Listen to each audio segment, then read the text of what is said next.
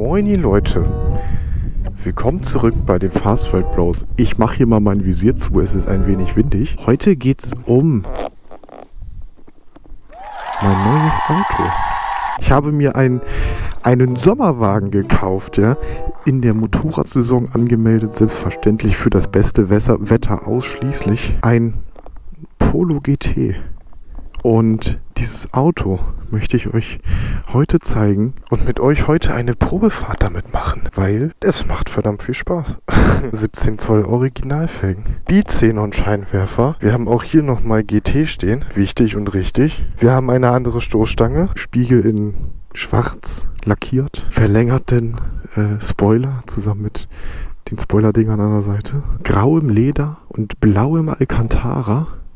Also wunderschön. Die Türverkleidung mit Leder und äh, mit, mit, mit Chrom-Details. Das Ganze finden wir natürlich vorne auch wieder. Graues Leder mit blauen Alcantara. Eine Menge Klavierlack. Äh, wir haben auch hier wieder überall unsere Chrom-Details, genauso wie da an der Tür auch.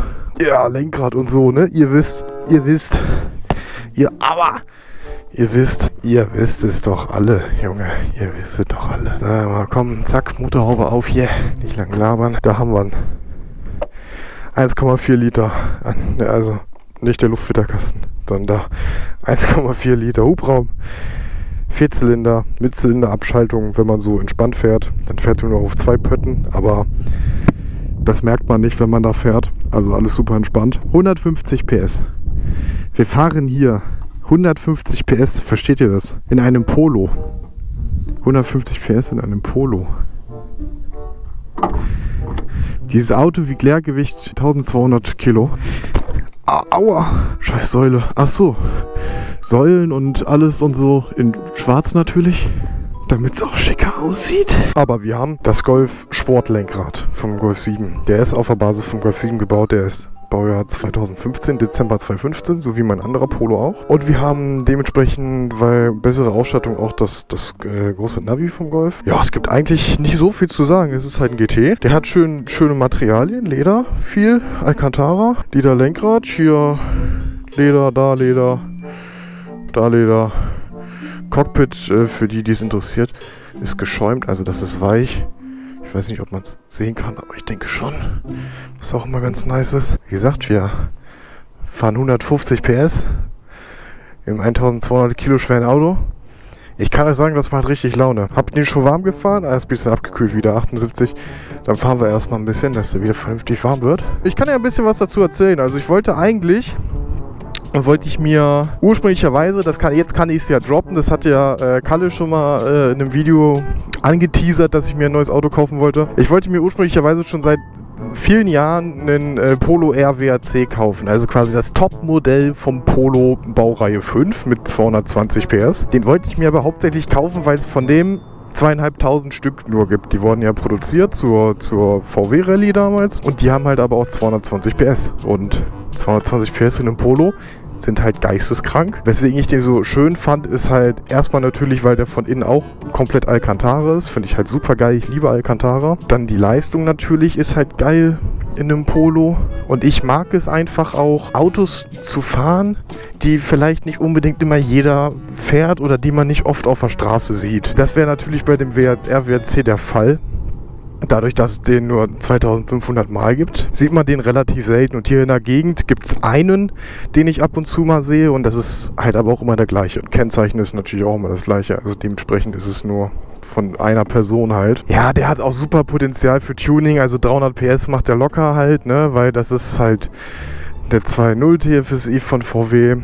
Das größte Problem ist natürlich, der RWC ist relativ wertstabil gewesen über die ganzen Jahre. Also ich gucke jetzt bestimmt schon seit dreieinhalb Jahren oder so. Für einen guten RWC, der nicht verbastelt ist, das musst du natürlich auch erstmal finden. Einer, der nicht schon komplett kaputt getuned ist, weil man ja gerne selber noch was machen möchte, ist halt einfach sauteuer und den zu finden ist halt auch sau schwierig, weil du durch ganz Deutschland musst, quasi, um dir äh, einen zu suchen, weil es davon halt einfach nicht viele gibt. Da kam dann natürlich noch dazu, erschwert, dass du auch einen finden musst, der relativ wenig gelaufen ist.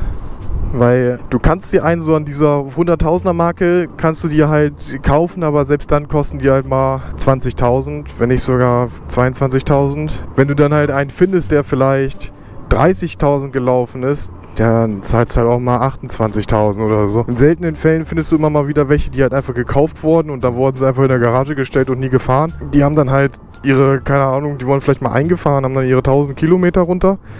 Ja, und die kosten halt auch 31, 32.000 und das ist halt einfach verdammt viel für einen Polo. Dementsprechend ist es der nicht geworden, sondern es ist der GT geworden, weil den GT habe ich von einem Kollegen abgekauft der hat sich nämlich ein neues Auto gekauft. Dann hat er aus Spaß mich gefragt, ob ich nicht sein GT kaufen möchte. Ja, dann äh, habe ich überlegt und ich habe einen guten Preis, äh, ja doch einen guten Preis bekommen. Und zwar habe ich jetzt für den GT 12.000 bezahlt. Der hat 37.000 runter, also jetzt knapp 38.000, weil ich gestern schon noch ein bisschen gefahren bin. Der ist halt nicht viel bewegt worden. Das ist nicht so so so so so die Katze im Sack kaufmäßig gewesen, sondern das war auch alles mit Gutachten von dem Dekra und so. Und der war noch mal hat nochmal ein Gutachten erstellen lassen, was ich dann auch for free bekommen habe zum Einsehen und alles. Also das ist schon sehr durchdacht gewesen, sehr überlegt gewesen und kein Fehlkauf gewesen oder irgendwie so ein Blindkauf. Oh ja, dann habe ich jetzt den, den GT gekauft. Quasi den, den kleinen, kleinen der sportlicheren Polos. Aber ich muss sagen, der kann, wenn er will. Also der hat ja nur, ich glaube, 30 PS mehr als der, der Polo GTI als auf der äh, Polo 5 Baureihe, wenn ich mich nicht richtig täusche. Also der GTI hat 30 PS mehr. Man rechnet mit so einem Auto nicht, dass der halt äh, so, so schnell beschleunigen kann, weil der halt einfach nicht so viel wiegt und das macht einfach wirklich, wirklich Laune. Also er macht äh, laut äh, Hersteller, also laut VW, macht er 0 auf 100 in, boah, was waren es, 7,5, 7,8 oder irgendwie sowas. Also unter 8 Sekunden. Das ist natürlich, für ein Polo ist das natürlich schon sehr geil. Muss man ja einfach mal so sagen. Also es ist schon, ich sag mal, wenn du den auf der Straße siehst und der ist jetzt optisch von außen ist ja nicht, nicht sehr, nicht, nicht, nicht viel gemacht so, sieht man dem das nicht unbedingt an, dass der so schnell von der Stelle wegfahren kann. Das ist natürlich auch wieder eine schöne Sache. Ne? Ja, und wegen der Seltenheit des Autos hatte ich mir den halt besorgt, weil ich sag mal, ich hätte mir vielleicht für 2000 oder 3000 Euro mehr hätte ich mir auch einen GTI besorgen können. Aber der hat dann natürlich keine 38.000 gelaufen. Der ist dann mehr runtergelaufen und da habe ich halt nicht diese Gewissheit, was mit dem Auto vorher war, weil so kenne ich halt den Vorbesitzer. Weiß halt, dass da alles easy sein, eigentlich sein sollte mit dem Auto. Ja, und so ein Polo GTI, den siehst du natürlich dann doch immer noch mal öfter als einen GT. Also hier in der Gegend habe ich wirklich sehr selten nur GTs gesehen. Ich würde jetzt nicht, nicht sagen seltener als ein RWRC, schon deutlich weniger als äh, einen GTI, weil ja, GTIs kriegst du halt hast halt einen riesen Markt für, sag ich mal, ne? Die kriegst du viel und die, die kriegst du schnell und günstig. Aber den will ich halt gar nicht haben. Ich möchte halt einfach gar keinen GTI fahren, so. Ich möchte halt was anderes haben. Fernab von, ja, äh, hat aber mehr Leistung für ein bisschen mehr Geld, ja, okay. das mag sein, aber ich finde GTIs einfach für mich persönlich uninteressant. Deswegen kam der für mich auch einfach nicht in Frage. Deshalb ist es jetzt der GT geworden. Ihr wisst, was ich meine, glaube ich. Ich glaube, ihr wisst, was ich meine. Gleich nach dem Kreisel haben wir unser Landsträßchen. Und da können wir mal aus dem zweiten Gang raus beschleunigen. Und ich sage, das macht wirklich Laune. Der kann schon gut drücken. 30 km/h raus.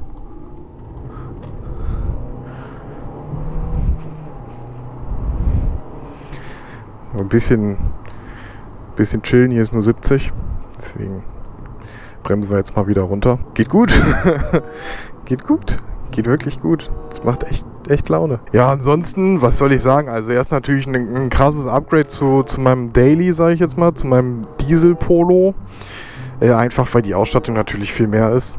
Und die, die, die Qualität der Materialien, die verbaut sind, auch einfach viel schicker sind als bei meinem anderen Polo. Der andere Polo ist ja nur ein Trendline. Ist trotzdem geiler Daily, weil der verbraucht nochmal deutlich weniger als er hier. Ist einfach super, super günstig im Unterhalt. Wobei der jetzt auch nicht teuer ist mit Saisonkennzeichen. Aber als Daily würde ich den halt nicht fahren wollen. Dafür wäre mir das zu schade, ehrlich gesagt. Deswegen wird er kein Daily, sondern einfach mein, mein Sommerspaßauto. So, dann können wir den, den kleinen Opel oder Mazda, was das ist, gleich mal überholen hier, oder?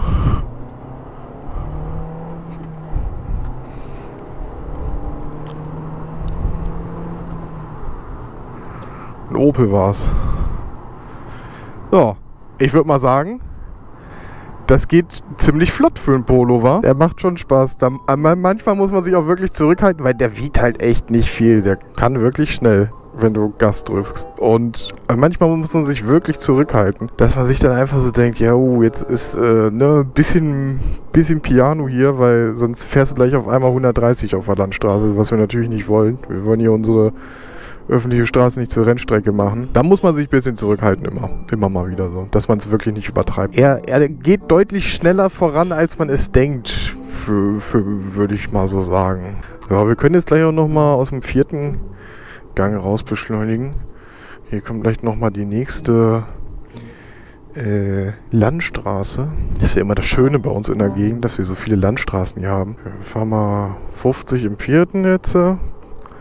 Und äh, geben dann jetzt mal Gas. 2000 merkst du so, wie der Turbo langsam Lust hat.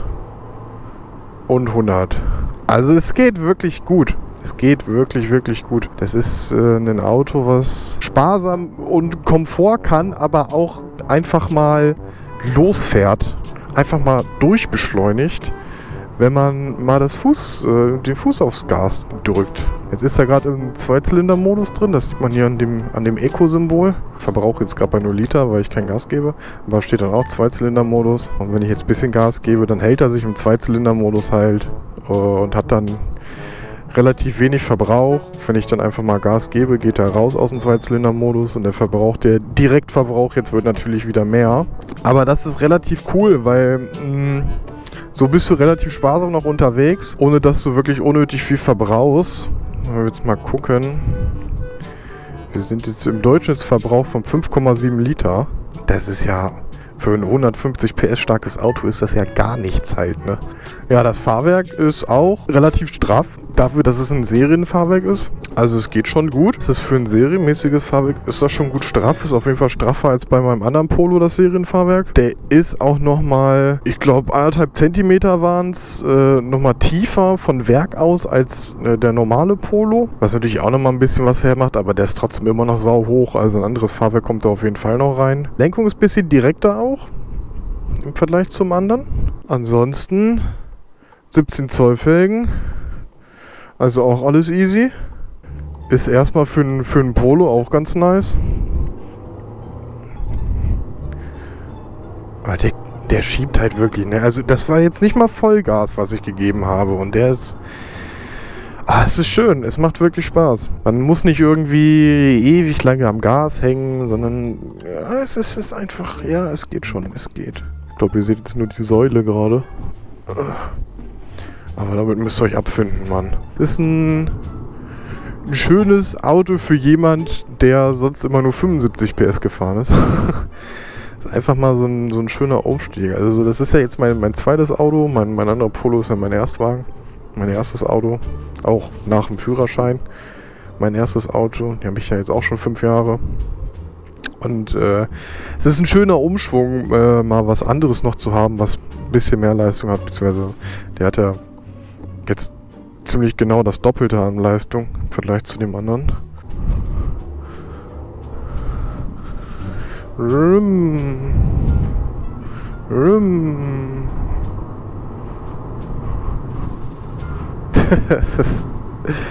er geht wirklich gut voran. Also es ist immer schwer, das so auf Video rüberzubringen. Aber ich sag mal, wenn, wenn bei einem von euch Interesse an so einem GT steckt, weil er sich vielleicht auch neuen Gebrauchten kaufen möchte mit mehr Leistung, sieht zu, dass wenn ihr Kleinwagen mögt dass, und ihr nichts Größeres braucht, äh, dass ihr irgendwie jemanden findet mit einem GT oder ein Angebot euch anholt, reinholt mit einem GT und dem mal Probe fahrt, weil es macht wirklich Laune.